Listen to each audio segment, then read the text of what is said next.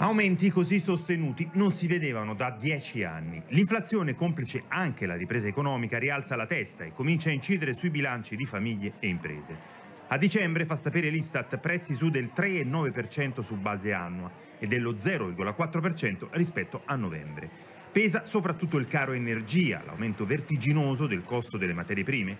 Non solo ha fatto lievitare le bollette di luce e gas, ma si sta anche trasferendo sui carburanti, con la benzina che oggi al self-service ha toccato quota 1,75 euro al litro, diesel a 1,62 euro. Il caro energia incide però anche sui costi di produzione e su quelli di trasporto e così a dicembre sono aumentati i prezzi del cosiddetto carrello della spesa, e cioè dei prodotti che compriamo al supermercato, più 2,4%.